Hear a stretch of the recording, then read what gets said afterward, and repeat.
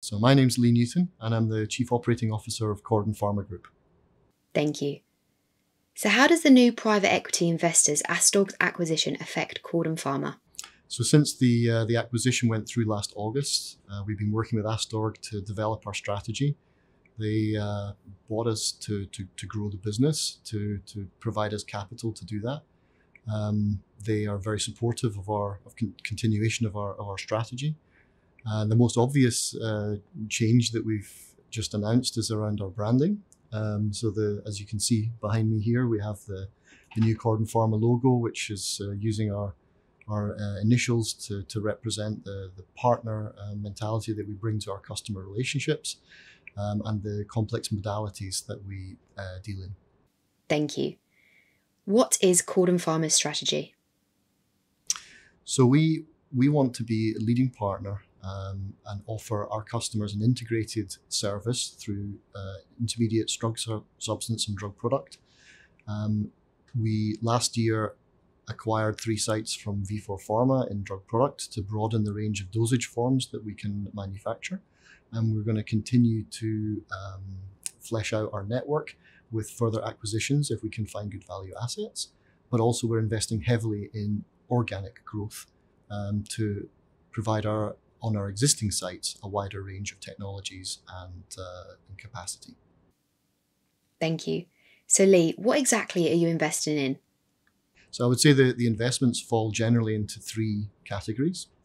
Uh, firstly, we have increased capabilities, so offering services that we couldn't offer in the past, uh, many in very high technology areas, high growth areas. Some good examples would be uh, manufacturing of synthetic oligonucleotides, where we're making a major investment in, in our uh, Boulder, Colorado site. Uh, we also have uh, lipid nanoparticle production being um, built in our Caponago, Italy site. That's quite close to completion. We should be able to offer customer services in that area um, this year for GMP. We also are investing heavily in further chromatography, including supercritical fluid chromatography, which we think is a, an important technique in the future uh, because it's much greener than existing techniques. Uh, the second category would simply be capacity. More, more of our customers are trusting us with their new launches, new chemical entities, their growth products. This means that uh, our existing capacities are quite full and we're continuously adding um, capacities. So where we had three lines, now we have four lines or five lines. Uh, and then the third uh, and also very important category is around our uh, ESG investments. So investments in reduction of carbon footprint, reduction of emissions, efficiency.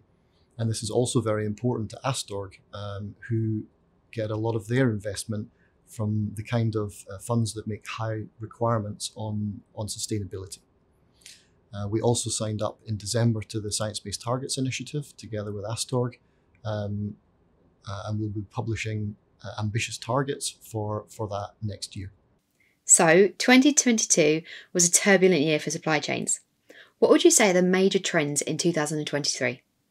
Yeah, so I mean, with our network of sites in, in Europe and the US, um, we were let a little bit, you know, we were exposed to energy insecurity in Europe um, for some time. Um, we are less exposed to some other geopolitical trends. Um, however, I think our sites coped very admirably. Uh, there were no real uh, breaks in service. We were able to qualify additional suppliers, to uh, think on our feet, be agile, and, and keep supply for our customers.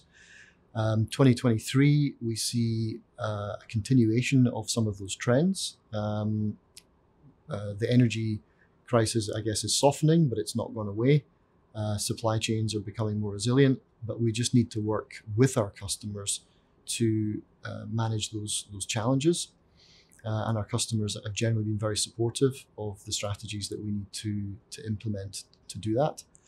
Um, the other main uh, trend I see in 2023 is is is a continuous increase in the complexity of what we're being asked to do which is favoring uh, companies like Corden that have a lot of high technology um, and uh, great development organizations that are able to bring uh, innovative solutions to those, those problems.